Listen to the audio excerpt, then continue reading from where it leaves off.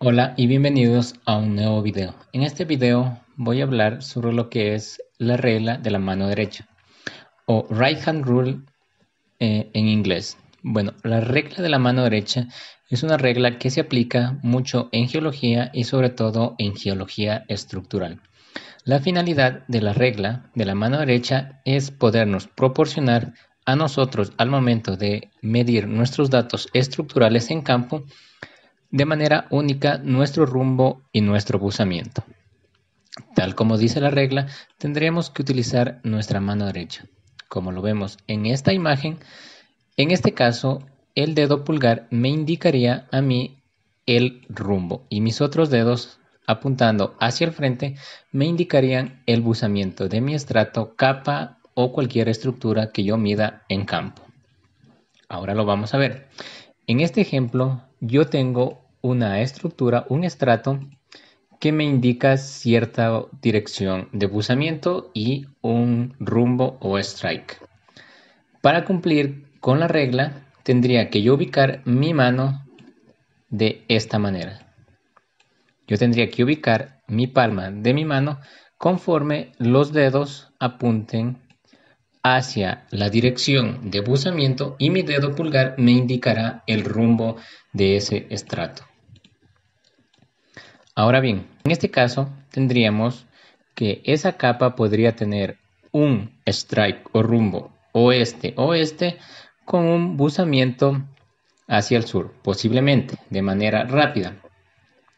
Sin embargo, yo debería tener en consideración la regla de la mano derecha, la regla de la mano derecha también sigue otro principio, el cual es un orden horario. Es decir, que para que se cumpla esta regla, yo debería ubicar mi mano siguiendo este principio.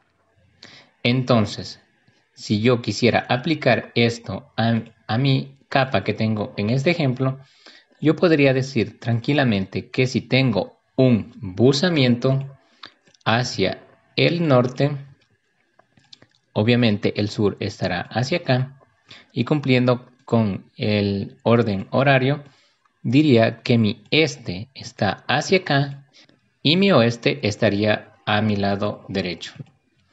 Entonces, esta simbología quedaría, o esta notación quedaría de la siguiente manera.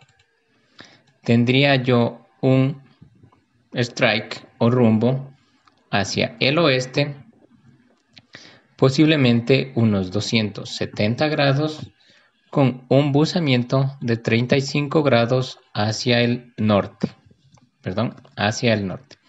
Esa sería la representación anotada de esta estructura que tenemos aquí. Y ahora lo vamos a comprender en un ejemplo más claro. Claro que eh, en estructuras medidas en campo yo no necesariamente necesitaría ubicar mi mano sobre esos planos, ya que muchas de las veces podría yo también llegar a confundirme.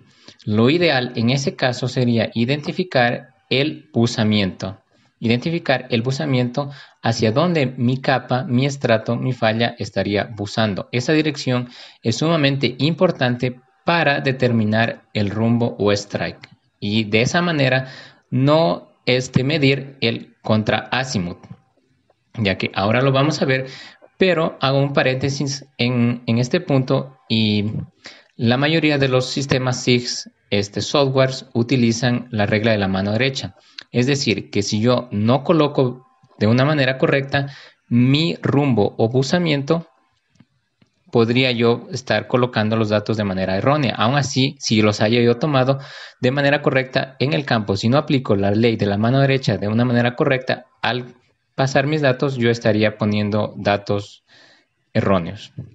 Ya lo vamos a ver ahora. Ahora bien, en este ejemplo yo he colocado una línea que me indica el 320 grados o 140 grados, ya que el rumbo seguiría una dirección de esta manera. Y yo si tomo en campo ese dato, podría decir que estoy tomando 320 grados con 50 grados noreste. O también podría decir que estoy tomando 140 grados con 50 grados hacia el noreste.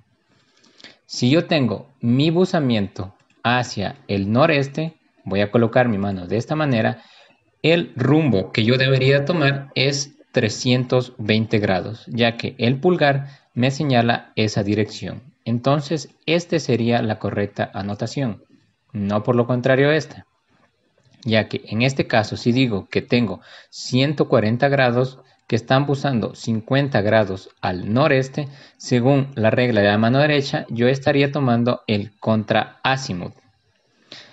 Y al colocar este dato en un software, ya que el software no les pediría la dirección de buzamiento, únicamente el rumbo y el buzamiento, si colocaría este dato, yo estaría diciendo que está buzando 140 grados hacia el suroeste. ¿Y por qué lo digo ahora? Ahora lo vamos a ver. Si yo giro mi mano de manera que mi rumbo coincida con mi pulgar, yo tendría esto. Para que se aplique esa ley, yo debería decir, para que se aplique esta anotación, debería tener mi buzamiento hacia el suroeste. Y de esta manera yo estaría colocando en el software un, un dato erróneo. Porque si yo me di esto en campo y pongo este dato de 140, 140 grados, el software inmediatamente me dice que yo tendría el buzamiento hacia el suroeste, por lo que estaría intercambiando los buzamientos. Entonces, la regla de la mano derecha, como lo venimos mencionando, sigue un orden horario. Entonces, si yo tengo que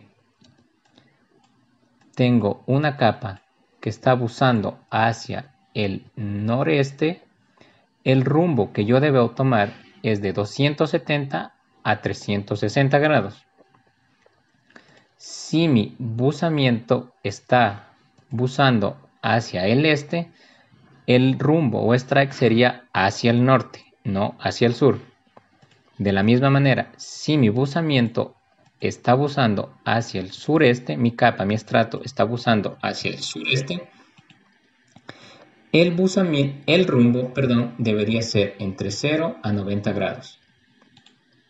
Y de esta manera lo vamos rotando. Si mi buzamiento es hacia el sur, el rumbo sería hacia el este. Si mi buzamiento es hacia el suroeste, el rumbo debería ser de 90 a 180. Si mi buzamiento es hacia el oeste, mi rumbo o strike es hacia el sur. Y finalmente, si mi buzamiento es hacia el noroeste, el rumbo será entre 180 a 270.